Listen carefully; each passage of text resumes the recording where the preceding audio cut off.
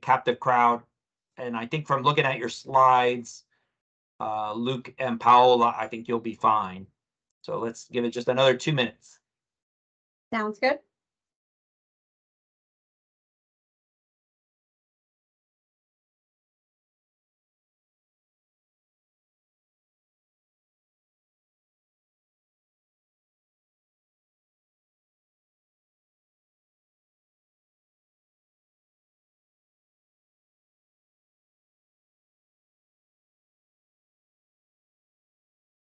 You give us a few minutes and we can get started for this meeting for a couple more people to get on?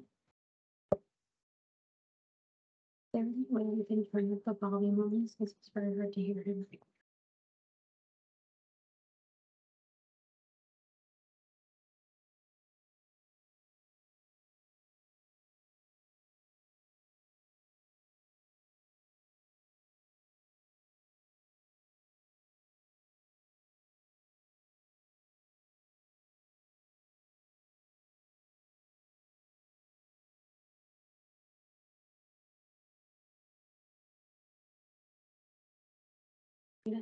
All right, we have about thirty people on, so that's, I think, a good, a good crowd. So welcome to the Roy Behnke Department of Internal Medicine Grand Rounds. Uh, here we are another Thursday with another outstanding talk. And this one is one that is extremely special to many of us, and it's our annual Patient Safety and Quality Improvement Lecture, which is given by our Patient Safety Chief Residents. So very proud this week we had a external site visit, which is standard for departments of internal medicine. And it was a honor to speak to these three chairs of medicine who came as part of the visit from Ohio State, MUSC, and LSU uh, to talk to them about our Patient Safety Quality Improvement Fellowship, which was one of the first founded in the nation, VA or non-VA, by the godfather of patient safety and quality improvement himself, Alexander Rice, Dr. Rice. Dr. Rice himself is celebrating 20 years at USF. So this lecture is also uh, very special given the background of Dr. Rice's anniversary in the VA. And Dr. Rice has uh, helped sh uh, to shepherd in uh, about 12 years of patient safety quality improvement fellows, including Dr. Elizabeth Melzer, uh, who is on today, and who runs the program directly, and Dr. Phil Ritucci, who is part of our staff at the VA, as well as Dr. Nidhi Patel, who is now also um, part of our staff at the VA and was previously at Tampa General and the VA, but still we're all part of the USF Department of Internal Medicine. And of course, Jamie Weber, who plays a vital role in patient safety, quality improvement, and GME. So Jamie Weber, Elizabeth Melzer, Phil Ritucci, Nidhi Patel, all graduates of the Patient Safety Quality Improvement Program, including also Dr. Henry Park, uh, who is our first ever graduate of Patient Safety Quality Improvement. And he plays a key role in simulation for the USF Department of Internal Medicine here at the VA. The, what the program has accomplished to include its recognition by the Institute for Safe Medication Practices uh, is beyond the scope of what we would be able to do in an introduction. But needless to say, the University of South Florida's Patient Safety Quality Improvement Fellowship is considered one of the finest, if not the finest in the nation, visited by multiple bodies uh, every year, every other year. Uh, it's always it was always nice to see the Ivy Leagues coming here to see us, uh, besides other universities from the Southeast. And kudos to Dr. Rice, Dr. Melzer, for all that they do in the leadership of this program. And congratulations on everything that Dr. Weber, Dr. Nidhi Patel, and Dr. Ritucci are accomplishing for our department here. If I forgot any of the other graduates there, oh, I am forgetting one, Roger Nihal, and two, uh, Elizabeth uh, Rhythm is a Dancer Peak. Uh, how could I forget those two other great graduates? This is what happens when I do an introduction from rote memory. Um, but I'm doing okay, I think. Uh, Roger and Elizabeth also are, are, just outstanding graduates. So as you can see, this this program has a very special place in my heart, and it is a distinguishing feature as recognized by three other chairs of internal medicine in the country this week for our university. With that said, the latest two entrants into our outstanding superstars are going are going to be faculty members here at USF. So um, this is a big reveal for everybody that um, Dr. Uh, Joseph Luke O'Neill and Dr. Paola Algarin Troia will be joining the staff of the James Haley Veterans Hospital and will be joining our Department of Internal Medicine. We are so excited about that. Dr. Algarin Troia uh, graduated from Michigan State University and then Central Michigan uh, University College of Medicine. So after she got her Michigan out of the way, she came and continued the green tradition, uh, switched her colors to a, a um, I think a similar dark green to uh, us USF Bulls. Paola's been an outstanding uh, uh, member of our residency here and now our chief residence and continues in a legacy tradition as her uncle Felix Rivera trained here at USF, uh, graduated in 98 from Re- internal medicine residency in 2001 from GI. Dr. Joseph Luke O'Neill, who I felt I've known forever, because uh, he I met him when he was a first year medical student here at USF. Before arriving at USF, he uh, ran the circles of College of Charleston and Rutgers uh, before making his way uh, to the mecca that is USF. And through his medical school days and his residency and his chief residency, he also has been an outstanding superstar.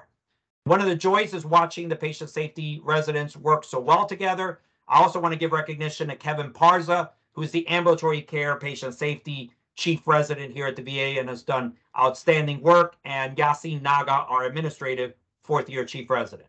With the world's longest possible introduction over, I now turn it over to Paola and Luke to give us a quality in healthcare measuring what matters update.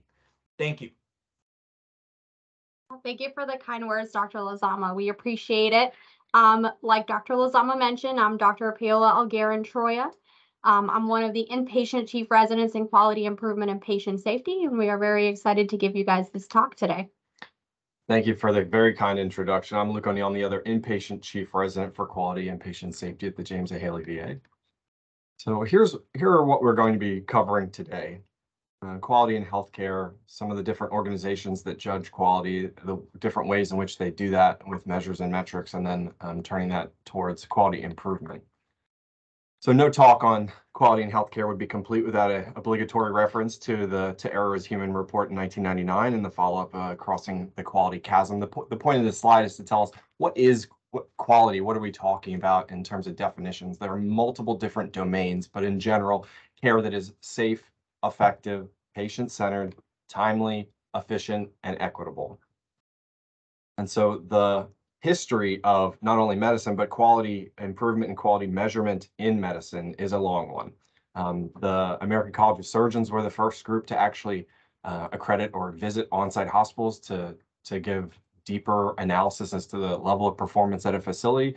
Um, JCAHO, which is now the Joint Commission after their rebranding, uh, was formed in 1951 to the to the same effect, and and then later in this century uh, that CMS has begun their value-based purchasing programs. But uh, those two reports that we mentioned earlier really sort of turn the page in terms of the focus of quality in healthcare and the level of detail and data and measurement and measures changing dramatically uh, around the turn of the century. And so, okay, if we've gone over what constitutes quality, all of those different domains, what what constitutes healthcare?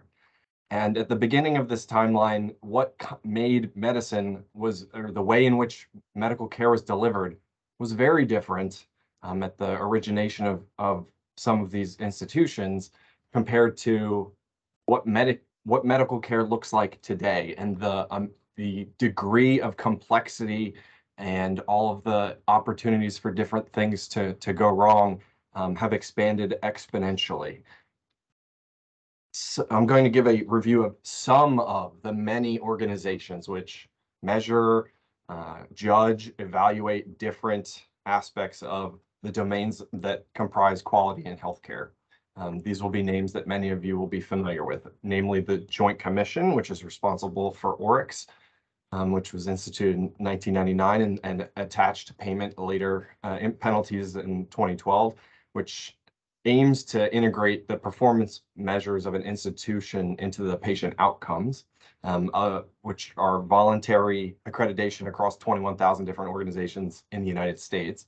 There's a public-facing website where you can uh, see the results of the institution of your choices latest site visit from the Joint Commission, and it highlights the national patient safety goals and the institution's performance on those.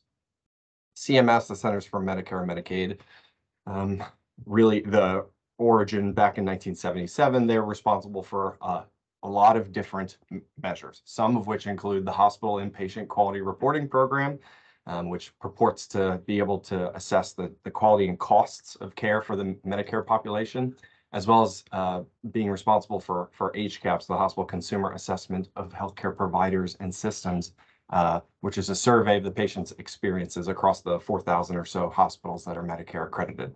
The Leapfrog Group is more a patient safety oriented nonprofit group that conducts a voluntary hospital survey that assesses um, threats to patient safety in uh, about 2,000 different hospitals across the United States, across 30 different performance measures that that they evaluate for, and they they roll that up into a composite grade for the facility, and um, so patients and the general public have some sense of comparison, which we'll go through. And then the core quality measures collaborative, which was uh, it's a 70 or so different organization public-private partnership, mainly between CMS and America's health insurance providers, among other stakeholders, to try and develop a common language, a core set of measures that can be used for apples to apples comparisons across different facilities and health systems, while also decreasing the reporting burden and decreasing duplicative efforts for making measures or, or metrics around clinical questions of, of interest and performance improvement questions. Um, and as well as uh, that instead of adding more measures, to rather pick the best ones and then through an evolutionary profit process to try to improve them and add the necessary components to be able to tell the facilities how their performance on this number means that they are or are not delivering quality care for their patients. And so this, if you were to go to Quality Check and look up the James A. Haley VA, you could see the results of the most recent site visit, which which went quite well. And the performance of the facility on a variety of different things, including things like uh, did you use two patient identifiers, um, process measures around safely using and administering medications, things like reducing hospital acquired infections through through hand uh, washing rates. But the the takeaway is, well, many of the facilities that you look at for this report will get a check mark, meaning they're on target. And so if everywhere that you look up is generally going to get a check mark, unless they are extremely high performers, they get a plus sign. Uh, if you're below the target, you get a minus sign. If you're among the best in the nation, you get a gold star. Um, and if you don't report it, it's, it's not displayed. So this doesn't provide a particularly good discrimination value between facilities if everyone is generally performing at, at a similar level. For CMS, they have hospital compare, uh, which you're able to drill down a little bit into more detail uh, between up to five different facilities on individual clinical questions of, of interest. So this is kind of like if you're going shopping for a truck and you want to pick out, do I want a Ford, a Chevy, or a Dodge? You can select the different manufacturers and say, all right, how much horsepower does this one have? How much torque does this one have? How many pounds of towing can this one do? Uh, a variety of different, more specific measures, and then see where they stack up against each other. And I've selected this one because you can see for a three-hour sepsis bundle, which is a clinical question of interest to of physicians and patients, the Tampa General outperforms not only Massachusetts General, the Johns Hopkins Hospital, and UCSF. Um, similarly, for C. difficile, uh, that Tampa General outperforms uh, the aforementioned facilities, uh, and with one being parity to the national average is uh, overperforming. The Leapfrog Group, which I mentioned before, has 30 different measures that are typically more oriented towards patient safety. Um, and they provide this information in- in a snapshot across these different domains where you can at a glance get a sense of, all right, red, yellow, green. Uh, how, how is this facility performing? And then if you select an individual measure that you can drill down, okay, what was their score for this hospital? And what did the best hospitals look like? What did the worst hospitals look like? And what's the average? So you have a little bit more context with which to say, okay, what does this number mean to me or not? And then when they, they roll up all of these 30 different measures, then they produce a grade and you can see the evolution of the performance of the facility as a whole over time. The Commonwealth Fund does not administer any of the measures that we've talked about so far, but they do produce a report where they try to pick and choose among the myriad different alphabet soup of agencies and measures and metrics. Which ones do they think represent how the healthcare system at the state level is performing overall in delivering health to the population that they are responsible for? And so like we talked about the six different domains of quality, they break down and pick and choose a selection of measures, including how many people are insured or not. Interestingly, did did adults go to a, a dentist that year? Um, the amount of spending that they receive, and then things that are more oriented towards hospital medicine, like 30-day mortality rates from CMS, uh, CLABSI infection rates, as well as the ubiquitous HCAHPS survey for the patient's experience of their care. Uh, in addition to more aim, uh, admissions for ambulatory care sensitive conditions such as community acquired pneumonia and then 30-day hospital readmission rates. And then uh, of a total of 56 different measures that they pick from a variety of sources that they stack up as a state. How did you perform on those 56 different measures? And then they line everyone up. And as you can see, the the average, the magnitude of the bar is your your score. Green is good, red is bad. And then the states are listed in order. Unsurprisingly, Florida and some of the other states who have not expanded uh, Medicaid will have large numbers of patients who are not uh, insured, and so that factors heavily into this calculation. While that doesn't necessarily speak to does the quality of care provided within the four walls of a hospital, um, it, it does speak to the how the population as a whole for the entire state or the healthcare system as a whole is, is performing in that sense. And so instead of having to pick and choose uh, from among a litany of options, that the CQMC's goal is to say, well, let's pick and choose the best and then uh, disregard the other ones and continue to, in an iterative process, add or modify or improve a few of the ones that are working and broadly uh, used and, and go from there such that we can decrease the reporting burden, um, uh, increase the amount of electronically um, delivered measures uh, that do not require a lot of administrative burden to report publicly. And so this is a, a snapshot of some of the core measures uh, that they have for the Medicaid population. Among them, things of clinical questions of clinical interest like routine cancer screening. Did did patients get appropriate colorectal cancer screenings? Um, a little bit more controversially in um, OBGYN is contraceptive care for reproductive women of you know 21 to 44. Are they on uh, highly or moderately effective birth control medications, including long-acting um, reversible contraceptives? Which which is a patient choice as opposed to that. So the outcome of did they get the prescription, are they taking it, rather than did you counsel and appropriately um, discuss the options with the patient and they've elected a, a choice that is either yes or no. Ambulatory care sensitive conditions, how well are we controlling blood pressure? And the, the threshold here is 140 over 90. Things like previously, which we'll get into uh, a little bit later, um, the hemoglobin A1C composite measure, which was previously just asking the question of, did this patient get an A1C in this calendar year? Which does not provide a significant amount of information other than a payer had to reimburse a test and it to some degree correlates with the, the level of care being provided because you asked the question. However, it didn't tell you anything about the level of control of their diabetes. And to that end, they've broken this down into two proportions, and this is reported in two rates. The 0059 is of all of the patients who had A1Cs, what was the percentage who were greater than nine? And then similarly for control, who was less than eight? A- Another clinical question of, of, of interest, HIV viral load suppression.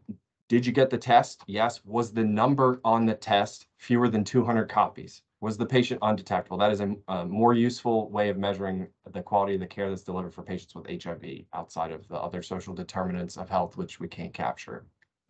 And then similarly for behavioral health, which we will talk about, the asterisk here is that the National Quality Forum, who was the um, organization tasked by CMS to uh, implement a lot of these measures, was does not recommend this measure anymore in terms of medical assistance and smoking tobacco use cessation because it's essentially a documentation. It's based on a survey and, and not necessarily tied with um, the good interventions or the process measures um, that would truly reflect the quality of the care that the patient received.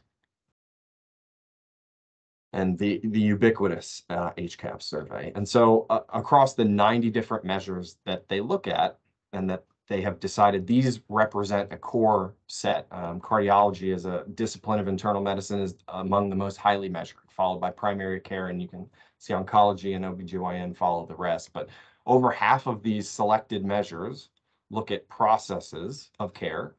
About a third look at clinical outcomes and, and then a, a small handful or a composite or patient reported outcomes like the surveys from, from patients. So I'm going to be reviewing um, objective number three, quality measures.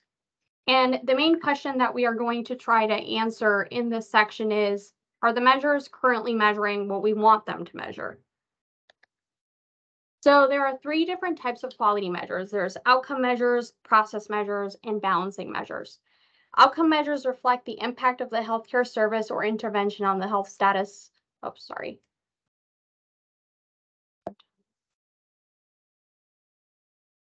There we go, I apologize. So there's three different types of quality measures, outcome measures, process measures, and balancing measures. Outcome measures reflect the impact of the healthcare service or intervention on the health status of patients. An example of an outcome measure is, um, does the percentage of patients who, the percentage of patients who died as a result of surgery or the surgical mortality rates? Process measures um, indicate whether a provider what a provider does to maintain or improve health, either for healthy people or those diagnosed with chronic health conditions. An example of a process measure is the percentage of people receiving preventative services such as mammograms or immunizations. Balancing measures. Balancing measures are measures that a health system must track to ensure an improvement in one area of a system doesn't negatively affect another area. An example of a balancing measure is for example, if you're implementing um, a quality improvement project to reduce inpatient hypoglycemic events, you want to make sure that you measure the number of hyperglycemic events as well, because you want to make sure that whatever intervention you choose to reduce the number of hypoglycemic events doesn't lead to increased number of hyperglycemic events. So quality measures, there's good quality measures and there's poor quality measures. The easiest way to determine if a quality measure is a good quality measure is to confirm that it has been endorsed by the National Quality Forum, which checks each measure it endorses against a subset of properties. Some of these properties are highlighted here. So under good quality measures, a good quality measure has a good relationship to improved outcomes. The process measure is closely connected to the outcome. The measure accurately assesses the process and there is no or minimal unintended adverse effects or perverse incentives with high performance in the actual quality measure. Poor quality measures. So poor quality measures are those that do not improve overall patient outcomes and have unwanted or adverse effects. So the American College of Cardiology, American Heart Association published this table in AHA journals in 2020 defining the components of a good quality measure. Why is, you might ask yourself, why is, why was this the focus of American College of Cardiology and the American Heart Association? Well, because as we saw in the previous slides, like Luke was alluding to earlier, the cardiology specialty is one of the most highly scrutinized specialties when it comes to quality measures. According to the table, a good quality measure is one that is clearly defined and meaningful, one that is reliable across multiple organizations, one that is valid and that it assesses what is it what is intended to, and one that is feasible in that it can be obtained with reasonable effort. The Dartmouth Atlas of Healthcare uses Medicare Medicaid data, or CMS, to provide composite information regarding hospitals in the country. In the images illustrated, you can see that there are different that there are variations across care in the United States. In the map, green coincides with a higher rate and blue with a lower rate. There are two different measures highlighted here. On the left, you can see the percentage of diabetic Medicare patients receiving an eye exam. On the right, you can see the percentage of diabetic Medicare patients receiving A1C testing. Not only is there significant variation, but one can ask the question of, are these two measures really telling us what we want to know? Do eye exams tell us about the quality of diabetes care? Yes, we need them, but they don't necessarily tell us if the diabetic patients have retinopathy or not. Does A1C testing tell us anything about the quality of diabetic care? Well, it doesn't really tell us how many patients had an A1C greater than 9%. Interestingly, the National Committee for Quality Assurance retired the A1C indicator as they deemed it does not assess, assess the test result or the quality of care. So what does this all mean? What does this all tell us? It tells us that when we look at quality measures, we need to think about the components of what makes a good measure and think about if the measure we are measuring is telling us what we truly want to know. So these two measures that we highlighted, the eye exam and the A1C testing, are necessary, but they are not sufficient. They don't tell us much about patient outcomes. So let's take a look at a non-healthcare example. The example highlighted here is about World War II plane survivorship bias. So during World War II, military leaders had a challenge. They wanted to add armor to American planes to minimize the chances of getting shot down by enemy fighters. The challenge was that the armor is heavy. Too much of it makes the planes go slower and use more fuel. Too little of it doesn't protect them. So to optimize its placement, the military looked at data of bullet holes on returning planes. Some deduced that they should concentrate the armor on the red dots because that's where the planes were getting hit the most. But Abraham Wald, a mathematician from the Statistical Research Group, looked at the problem a little bit differently. He reasoned that the armor should be placed on sections where the plane had no bullets or no bullet holes, the engines. That's because those missing holes were on planes that didn't return. And those should be the ones analyzed since they were shot down over enemy territory.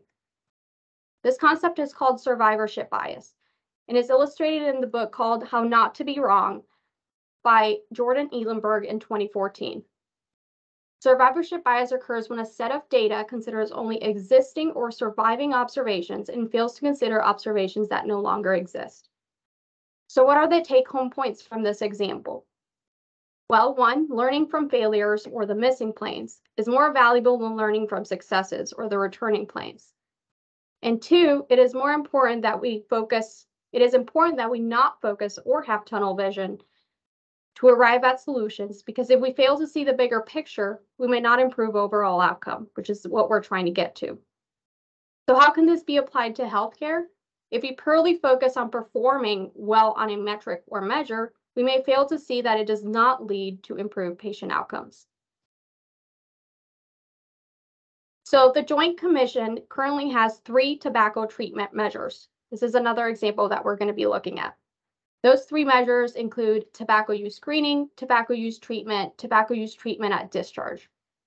Now, note that treatment refers to counseling and use of FDA-approved cessation medications. To check the box of tobacco counseling completed, the nurse or provider must fulfill the three requirements highlighted below and provide clinical documentation. These requirements include a one-on-one -on -one interaction with the patient, providing and reviewing a pamphlet of basic tobacco use information and cessation treatment, and providing coping skills to the patient.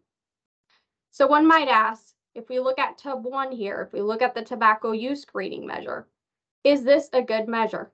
Well, checking a box the patient was screened for tobacco use doesn't necessarily lead to improved patient care outcomes. At the end of the day, it doesn't tell us how many patients actually quit smoking. Looking here to see, to check the box, was tobacco counseling completed? Well, if we check this box and we provide clinical documentation, we fulfill the measure, but is this a good measure? Is it actually telling us what we want to know? Well, there is lack of reliability as this measure is not reproducible in organizations and varies across workers. There is also a lack of content validity as it is unclear if the most meaningful aspects were captured during the counseling session. So again, these measures may be necessary, but are not sufficient. Let's take a look at another example, heart failure discharge instructions. So this article was published in 2013 in the Journal of American College of Cardiology. It highlights the six components required by the Joint Commission to be included in discharge instructions for patients with heart failure. These components include diet, exercise, weight monitoring, worsening symptoms, medications, and follow-up appointments. You might say, well, if this is a measure, there must be data or research to back this up and show it leads to improved heart failure patient outcomes. Well, interestingly enough, the paper shows that only independent that the only independent predictor of readmission was whether or not patients knew all of their discharge medications. Even though these guidelines were developed by experts, no one tested whether patients' understanding of these instructions affected 30-day readmission rate.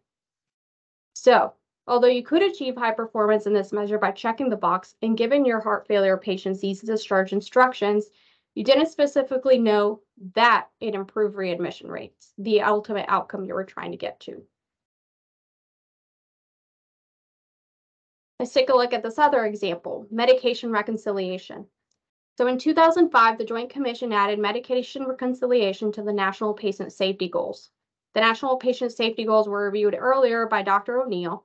It is how the Joint Commission judges the quality of care for the organization that it accredits. The elements to fulfill this medication reconciliation measure are highlighted below. If you have all these elements, you're considered to have good performance on this measure. So the first element is obtaining medication information on admission. The second, comparing medication information patient has provided with inpatient medications ordered. The third, providing the patient with written information of medications on discharge. And the fourth, instructing the patient to review the discharge medication list with their PCP. So let's say I have a patient with heart failure and they present to the hospital with pneumonia. And I discontinue their ACE inhibitor with no clear reason. Am I dinged for this based on these four different components? Well, not really. Wrong, wrong medication can be ordered or the, the incorrect medication can be discontinued. And that doesn't say that doesn't necessarily ding me in any of these four components. So I can still perform good on the medication reconciliation measure. However, that's not really leading me to ultimate improvement in patient outcomes. Again, the point of these measures are necessary, but they're not fully sufficient in assessing patient outcomes. Another clinical question of interest, particularly with, with hospital medicine, is DVTs and PEs or venous thromboembolism. And so what are the different ways in which that is measured? And, and do those measures or the ways in which facilities are graded on this topic actually tell us about the quality of the care that the patients receive to try and prevent them from developing blood clots? VT is a big problem. Um, most of the data comes from the, the early 2000s in terms of the magnitude of the problem being on the order of 900,000 different patients developing these. Um, and at that time, one of the major issues was decreased uh, appropriate pharmacologic prophylaxis rates, but of patients who developed the outcome of interest, did you have a clot or not? About half of them are associated with either a hospitalization or surgery within the preceding 90 days from the diagnosis of that event. Um, back in 2005 uh, and 2006, the VTE 1 and 2 measures were developed um, to, to try and improve the rates of prophylaxis. And those were sort of consensus guidelines about um, what everyone could agree to measuring. The goal, obviously, of why would we, why should we be measuring this is to reduce the incidence and therefore the preventable harm that comes from venous thromboembolic events. Um, but the question of whether or not the measures that we currently have in place serve us well to the end of improving the systems and deliveries of care, um, that uh, Peter Pronovost and his colleagues will argue not uh, no. Because what goes into when a patient comes to the hospital to delivering excellent care. Um, and so they outline the, the process measures. If you were to truly be able to, to deliver defect-free care, that that would require assessing each individual part of the process. A, a documented evidence base or, or standardized risk assessment me, uh, mechanism, then the coupling that with appropriate prescription of pharmacologic VT, uh, VTE prophylaxis if there are no absolute or, or strong relative contraindications that were documented. And then the patient has to accept that plan, and then the nurses have to administer the medication. Um, and then ultimately the out, this, these process measures need to be tied to the outcome measure. Did those patients who received defect-free care have lower rates of the event or not? To be able to give us clinically useful knowledge as opposed to just collecting data on the, the rates of prescriptions. So here's a, a table that goes through, the Australians um, have a measure which at least uh, is the only one that ties a standardized risk assessment model to the prescription of, of the appropriate medication. Like this patient has a Padua or a Caprini or an improved score of greater than uh, medium. They are, they are at high risk. And then correspondingly, were they prescribed appropriate medication or not? Um, the VTE one and two just look at was per, the, the prescription made, not whether or not it was actually given. And so the National Quality Forum has, has come closer to the answer with VTE six, looking at was it prescribed, was it given, and then did the patients develop this, um, this outcome or not? Did they get a clot after you gave them the medication? However, this, this measure fails because to truly tell us about the quality of the care that the patients receive, because you could pass this measure for a patient who's been admitted to the hospital for two weeks. If on day 12 of their hospitalization, they receive a single dose of 5,000 units of heparin in the morning, and then later that afternoon, get a CTA that shows that they have a PE, that because they were administered one dose of medication prior to the diagnostic imaging study of the outcome that you would pass, that that would not be assessed as being potentially preventable.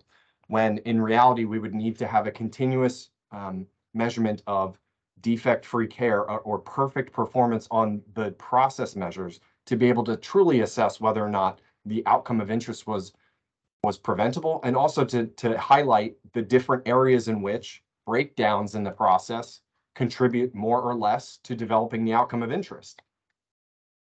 And so how about, okay, we, we're going to measure these things. Hospitals that, that have otherwise very high uh, quality indicators, which we want, you know, a composite score of how good is this facility, have generally very high rates of, of prophylaxis uh, prescription, but they actually ended up having worse rates of, of the outcome uh, of, of actual clots being diagnosed. So, so how could that be? If they're succeeding at the process, how could they get worse at the outcome?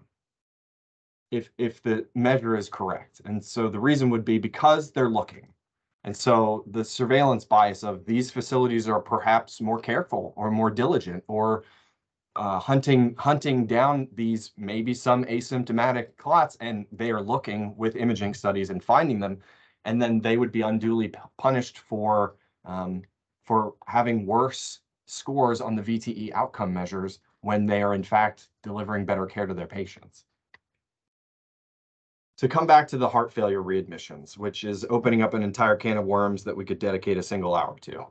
This uh, table comes from a study of one of our uh, DEN leaders, Dr. Motzi, and his colleagues at Brooke Army um, in 2010, looking at um, about 350 or so heart failure admissions at a tertiary hospital in Louisiana. And they, they asked the question, well, why do patients um, get readmitted for heart failure? What corresponds? If we do a multiple logistic regression analysis, what, what stands out? Why are these patients coming back? Um, and you can see we have the only significant results are either the, the presence of ischemic heart disease, not a huge um, magnitude of effect, the, the patient's hemoglobin, also not huge, and the biggest predictor would be illicit drug use. And then the second biggest predictor was high quality performance score. So what, is, what does that mean? They broke down basically half and half of the group into, did the patient have a perfect score across the Joint Commission at the times um, measures for um, discharge instructions. And you'll notice doc documentation, documentation, documentation. So did they get a long list of, uh, of discharge instructions that were specific and printed out and give it to them? Did you assess their LV function or did you plan to do that? Did the pay, was there documentation of an ACE or an ARB for those with EFs below 40? Did you document their smoking history and do the appropriate counseling and all those things? And for patients who scored perfectly, had defect, defect-free care here or very high scores on these measures, do- if for doing better on the process, they did worse on the outcome of, of readmissions. And so then you have to beg the question, well, either doing these things does not truly improve the, the delivery of care or the give better care for patients with heart failure, or the outcome is not tied to delivering better care for patients with heart failure. And we can certainly argue about clicking a, clicking a box and giving a pamphlet. Does that truly reflect giving good care? But more importantly, heart failure readmissions are, are more closely tied to other things than the quality of the care provided within the four walls of a hospital. Um, and we can see here in this, in this paper, which was published in the last couple of months, um, in JACC Heart Failure, I believe, uh, looking at almost ten years of heart failure readmission data.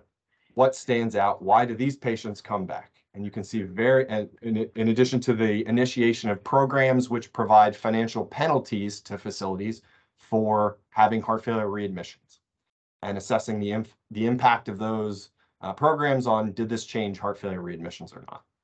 And uh, uh, you can see the nice separation between the top blue lines and certainly the, the bottom yellow lines. And then the two, two lines in the middle, these are quartiles of income for the patients.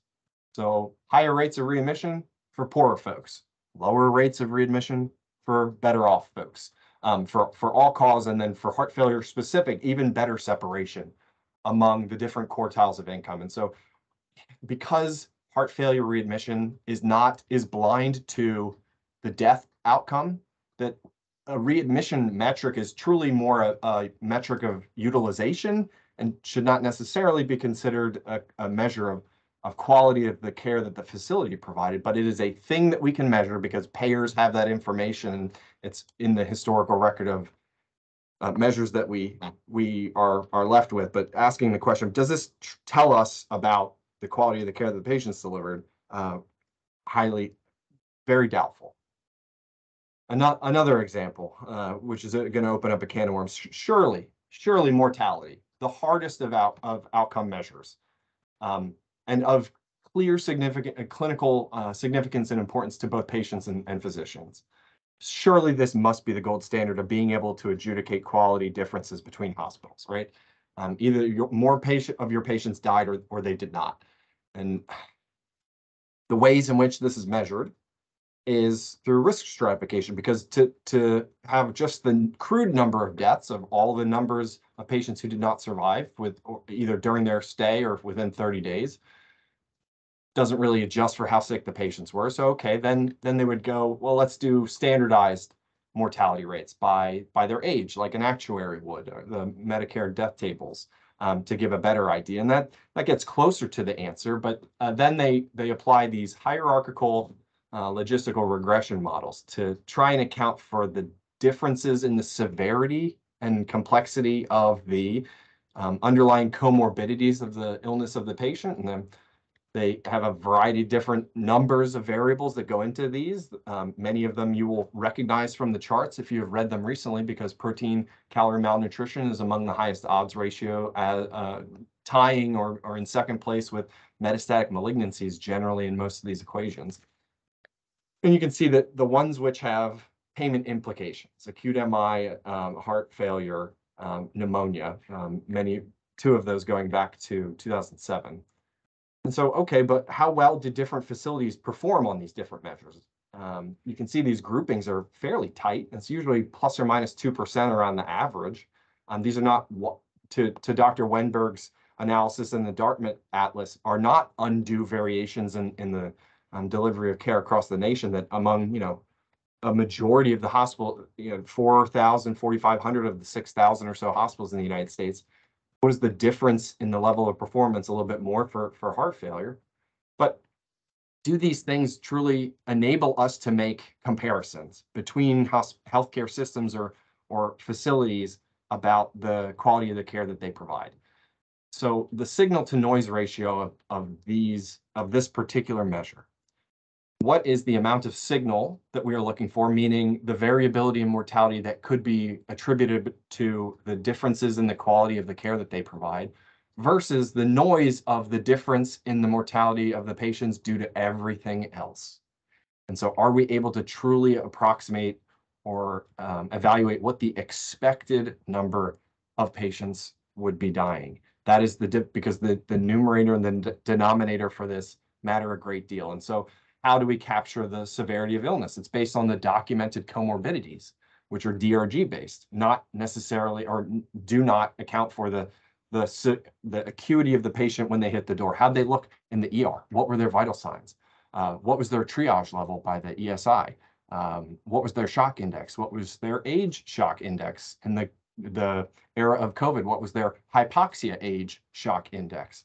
Um, these none of the variables that go into the calculation of the risk stratification. How many do we expect? None of them account for social determinants of health, which, as we've seen with heart failure readmissions, plays a prominent role.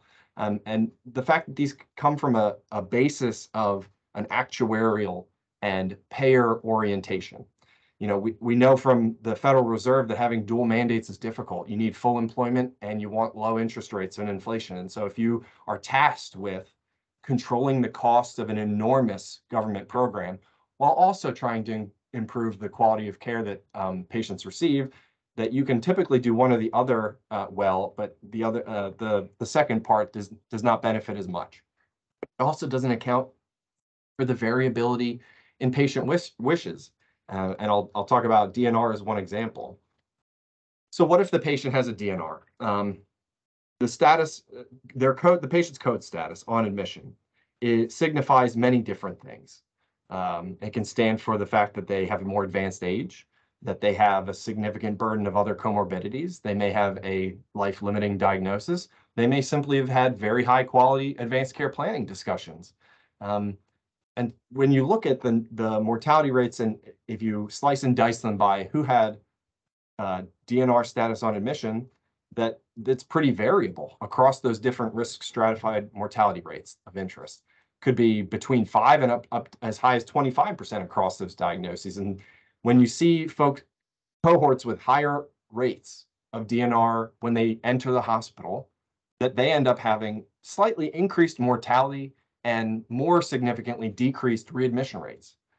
And so because that's a, an event that occurs outside, does not originate from within the care provided at, during that hospitalization, you could argue, well, this really leads to sort of unfairly be, um, penalizing facilities for having higher mortality if you don't take it into the risk stratification, and then unduly rewarding those um, for for having decreased readmissions. And so uh, in this analysis, they they did that and they found for every one percent increase in DNR rates, you had a an odds ratio of about 1.06 for avoiding a financial penalty for readmissions. That odds ratio is the same in those risk stratifications as age as a continuous variable over 65 years old. And so you should say, well, certainly then we should add DNR status to this risk stratification. No. Um, you know, the implications of doing that, because they do not exclusively correlate with illness severity, which would be captured by the DRG. If that were the case, perhaps that would be appropriate. But if if it means that the patient has spent 30, 60, 90 minutes discussing um, what their wishes at the end of life are, that we would not want to remove that reward of doing that. And so to that end, w- it would be, you know, that is delivering good patient-centered care. That you wouldn't want to un, the untoward or, or unanticipated consequence of adding that would be you would disincentivize facilities not only from having patients with DNR on admission, but also from the process measure of performing high quality and, and lengthy advanced care um, planning discussions. And so the better way of doing this would be to truly um, uh, incentivize the process measure of did you deliver excellent advanced care planning regardless of the outcome of that discussion. And so, you know, in the same way that we look at tobacco screening where you can check a box for advanced care planning, there are codes that go by 15, 30, 45 minute increments. And so that you would then be able to stratify how much time did you actually spend with the patient in the discussion? And that may be more reflective of and a better representation of the, the quality of the care that the patient received. And so all of this is to say that it's more important to, to keep in mind that scoring well on a measure or a metric does not equate to delivering good care for the patient and sort of to, to always center ourselves on, does this help my patient? And work towards constructing and building comprehensive ways of evaluation that include not only measures of the process, but tie them to the outcomes of interest. Great, so I'm going to be reviewing objective number four, quality improvement. And the purpose of this section of the PowerPoint is to understand different quality improvement methodologies and understand the approach to quality improvement. So there are different quality improvement methodologies listed here, Lean, Six Sigma, 5S, PDSA, DMAIC, and RIE or Rapid Improvement Event. Lean Six Sigma is often used together Lean refers to minimizing waste, so removing non-value, unnecessary um, tasks from the actual process that you're trying to improve. Six Sigma refers to reducing variation, so making the process more consistent and reliable across different workers and organizations. 5S, um, 5S, the 5S's stand for sorting, setting in order, shine, standardizing, and sustaining. And what you're aiming to do by using the 5S QI methodology for quality improvement projects is creating a more organized and productive workspace. PDSA stands for Plan, Do, Study, Act. And this is basically a vir virtuous cycle of interactive changes. In every quality improvement project, you're going to implement one or two or multiple solutions and every time you implement a solution, you do a PDSA cycle. So one quality improvement project can have multiple PDSA cycles. DMAIC. So DMAIC stands for define, measure, analyze, improve, and control. So in DMAIC, using the Lean Six Sigma methodology, you can focus on improving a system-based process. Using DMAIC usually takes um, six or 12 months to complete a quality improvement project using this methodology. RIE or Rapid Improvement Event is where a small team devotes about 100% of their time over three to five days to analyzing and improving an organizational process. So let's talk a little bit about the approach to quality improvement. Um, and we want to give you guys an example from um, an article that was published. So in 2019, this article was published in PubMed and it describes the importance of clinician-directed performance improvement in moving beyond the externally mandated metrics. A community hospital in Santa Fe, New Mexico developed a clinician-directed performance improvement program designed to give clinicians the opportunity to conduct QI projects. The image shows an example of four different QI projects. And notice that each QI project had process and outcome measures. One was not independent of the other. Let's take a closer look at one of the QI projects they aimed, um, one of the QI projects they did, and it was aimed at reducing the number of total um, percentage of broad spectrum antibiotic days. See the time order data below from 2014 to 2018. And again, the goal was to achieve a lower percentage. After the clinician directed performance improvement program, you can see that there was a shift in the mean in the statistical process control chart. The goal of this QI project was achieved by allowing clinicians and the first line staff decide what they wanted to improve and what they wanted to measure. Looking at this other graph, you can see a composite of the efforts of the clinician-directed performance improvement program. When the program was implemented, you can see that this led to reduced patient harm and improved patient outcomes. Since its implementation in 2015, the clinic, clinician-directed performance improvement program has been associated with large improvements in quality and large physician engagement. So how do we know what we want to improve? This is where the importance of patient safety event reporting comes into play. We can only know what the organization needs to improve by looking at patient safety events and reports and how they have reported in the JPSR, which is the Joint Patient Safety Reporting System. Here you can see the efforts that the VA and USF have made to increase patient safety event reporting. In the VA, Quality was implemented around July 2021, and this shortly led to an increase in incident reporting. Quality aims to review patient safety events and propose feasible system-based solutions. At TGH, GME Patient Safety Console was implemented around November 2021. This also led to an increase in patient safety event reporting. This other chart shows a closer view of what occurred after these implementations. So let's say we've evaluated a patient safety incident report and we have identified a potential issue or problem we want to improve. How do we even begin and how do we complete a QI or quality improvement project? Well, we can go through these steps and these steps are often used in the DMAIC quality improvement module. Remember the DMAIC is define, measure, analyze, improve, and control. So the first step in going about doing a quality improvement project is asking yourself, what problems and issues do you see in your day-to-day in your day-to-day work and what can you actually improve? The second step is analyzing whether your observation is a real problem. So this often requires you to collect baseline data and using your DAS or data acquisition and analytics team here at the facility to really see um, data for that problem that you have in mind. Then you assemble a team. So in assembling a team, you should aim to have subject matter experts and stakeholders. These stakeholders should, stakeholders should be directly involved in the process that you are trying to change. Fourth step is creating a project charter. So in your charter is where you outline where you outline your aim, what you want to accomplish with the project, your measures, your outcome, your process, your balance measures, and your timeline. When do you want everything in your project to be done by?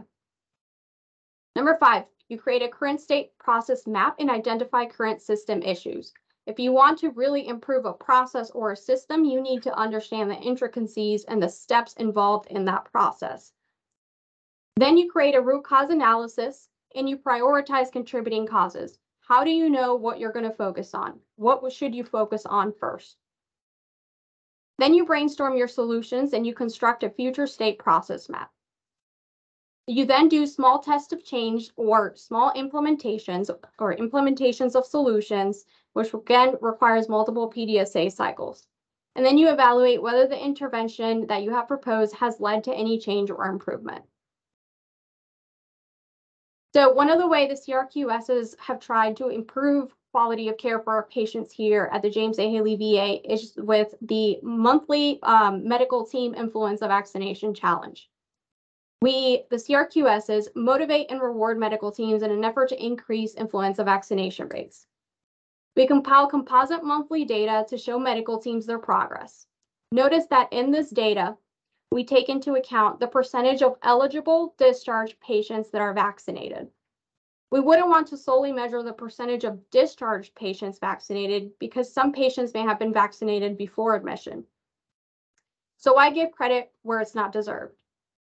In this case, the measure, the percentage of the percent of eligible discharge patients vaccinated is closely related to the outcome. A lower percentage of eligible discharge patients vaccinated can lead to worse patient outcomes. We focused on the identifying the different QI methodologies and our approach to quality improvement. Let's expand on what we can do to prevent bad outcomes from occurring in the first place. And this is using an HFMEA. HFMEA stands for Healthcare Failure Mode and Effect Analysis. It proactively evaluates a healthcare process in the hopes of identifying potential failures and their causes before a process is implemented. The severity, probability, and hazard ratio are then determined. The HFMEA decision tree is then used to determine if the failure mode warrants further action. The decision tree helps determine if you should proceed to the next step in the HFMEA or stop. If you proceed, the next step after the decision tree is determining what actions you want to take for that specific failure you've identified. Do you want to eliminate or prevent all occurrences by removing the failure point altogether? Do you want to control or minimize all occurrences by implementing mitigating factors? Or do you want to accept, acknowledge, and accepting the known risk of the failure? The next step includes selecting an action you want to take, an outcome measure, that shows effectiveness of that action. An example of an HFMEA we participated in um, during our USCR or as CRQSs is a new bed tower simulation experience. By proactively assessing for potential failures in high-risk situations like code blues during the SIM scenarios, we had the chance to not only identify errors or failures that can occur, but actively participate in them before the new bed tower opens and before patients are actually moved there.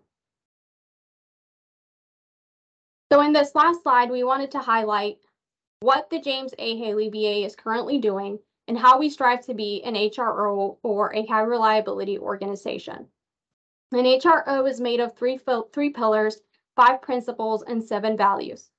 By striving to improve the quality of care for our patients, this is how the James A. Haley VA is working to become and to expand as an HRO.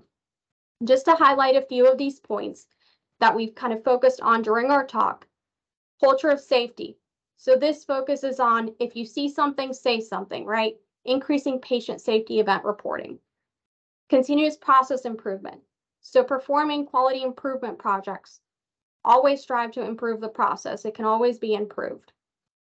And the last one I wanted to kind of point out that we've really focused on during our presentation is it's all about the veteran, right? Ultimately, with everything that we do, we always strive to do the best for our patient, and that at the VA is our veteran.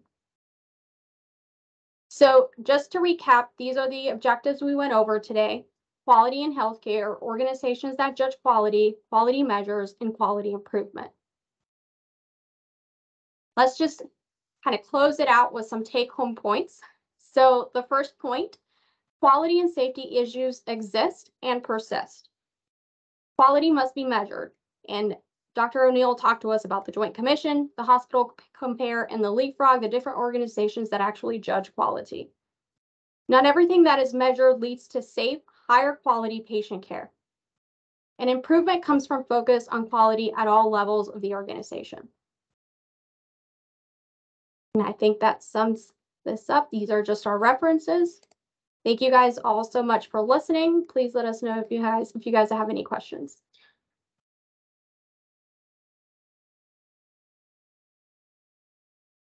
All right, thank you. We have about one minute or two minutes. So fire away if you have questions. Now's the time.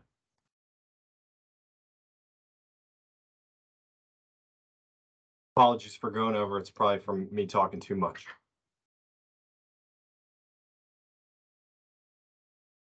Dr. Melzer's too kind in the chat. I think everybody, everybody's good. So they're happy with all your great work. We look forward to seeing you on the faculty on the new academic year. Remember, you're still chief residents till then. Ah, have a good day, everyone. Take care. Bye-bye. Thanks again for an awesome presentation. Take care. Thank you. Thank you Thank for you. having us.